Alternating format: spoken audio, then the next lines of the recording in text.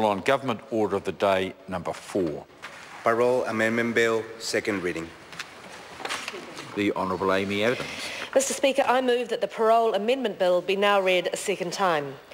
This bill demonstrates the government's ongoing commitment to improving the efficiency and effectiveness of the justice system.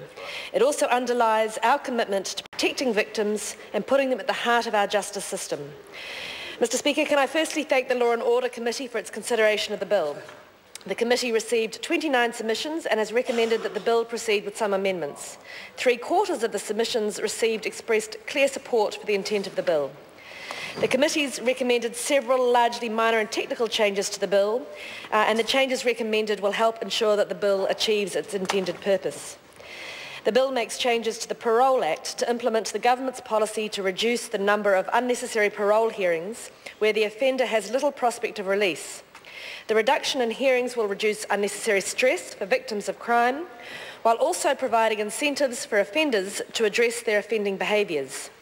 The bill also improves the efficiency of the parole system by simplifying pre-hearing processes and clarifying issues around attendance at hearings conducted by the New Zealand Parole Board.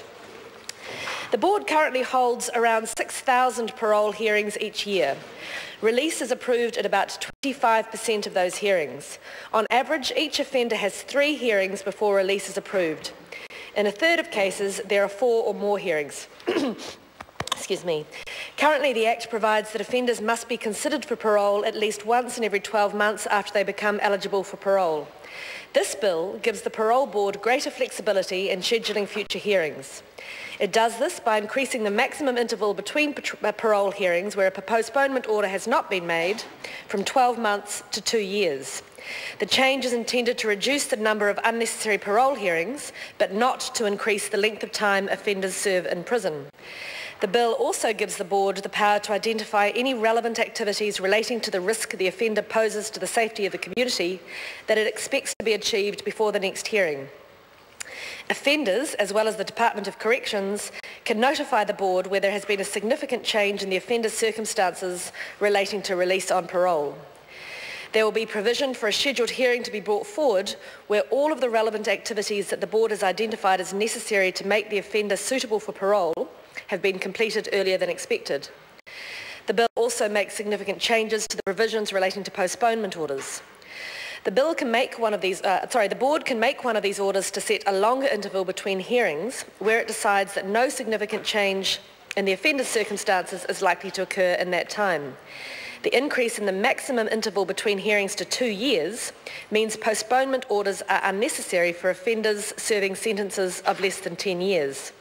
The bill therefore restricts the imposition of a postponement order to offenders serving indeterminate sentences or determinate sentences of 10 years or more.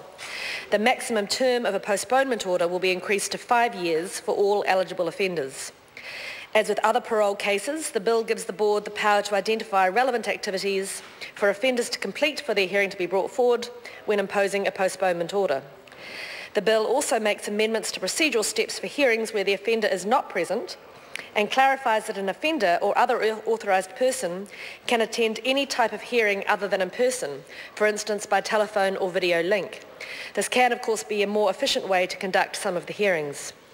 In addition, the bill, uh, the bill, amends the Parole Act to ensure that standard release conditions automatically apply to all offenders released on parole.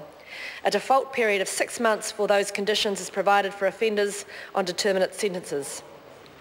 These amendments are all aimed at streamlining and simplifying processes. It is intended that there will be savings made as a result of fewer hearings being held each year, and importantly, reducing the number of hearings will benefit the victims of imprisoned offenders in many cases. Mr Speaker, there is little sense in holding hearings where the offender has not addressed the reasons for their offending and remains a risk to the community. Furthermore, we need to keep in mind that these hearings do cause unnecessary stress and anxiety for victims as they are forced to re relive the offence over and over. Mr Speaker, this bill is another step in our commitment to putting victims at the heart of our justice system and I commend it to the House. The question is uh, that the motion be agreed to. Uh, Mr Speaker. The Honourable Phil Goff. Mr Speaker.